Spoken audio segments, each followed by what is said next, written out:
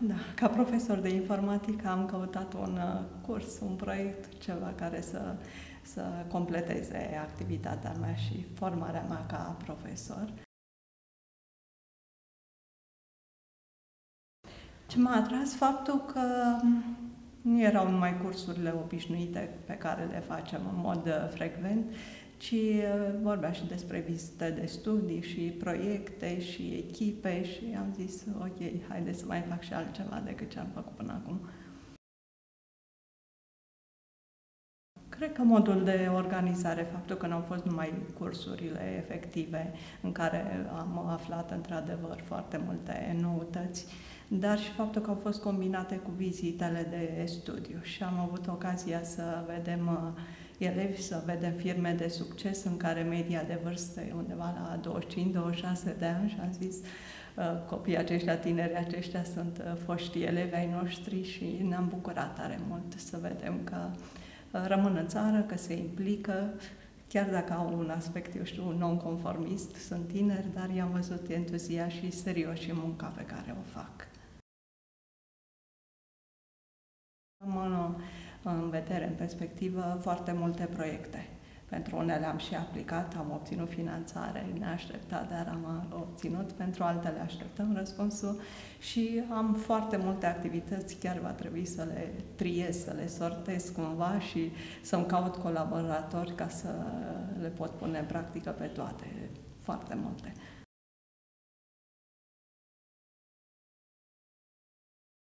Cercul de robotică. Am spus-o mereu și în activitățile de aici. Vreau să deschid un cerc de robotică, programare, nu neapărat ceva foarte complicat, dar uh, ceva în care să îi stimulez pe elevi să, să participe la activități de programare, să îi îndrum spre o carieră în uh, domeniul STEM.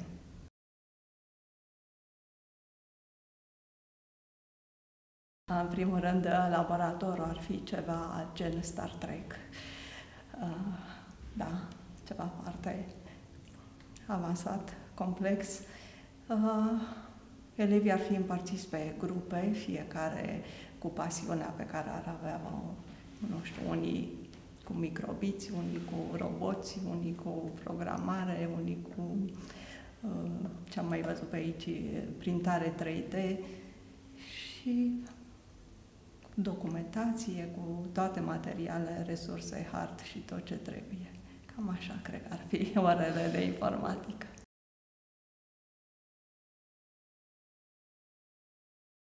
Da, nu știu, în privința aceasta, uh, elevii sunt ceea ce îi formăm noi.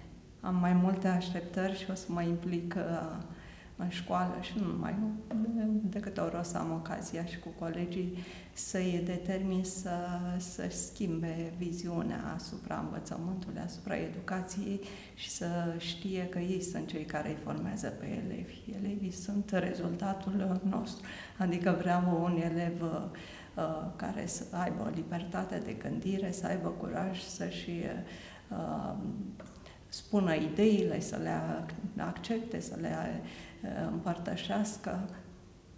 Cred că acesta e elevul ideal din secolul acesta, din lumea în care trăim. Nu mai putem să mai spunem elevii de pe vremea noastră. Ok, da, pe vremea noastră nu era ce e acum. Tocmai pentru viziunea aceasta cu care plec eu de aici, pentru uh, să, colegii, profesorii să devină ceea ce ar trebui să fie un cadru didactic acum în secolul acesta. Și am colegi în școală care au participat la dreptar digital, la alte activități, cursuri de formare de genul acesta și o să le recomand în continuare să, să participe.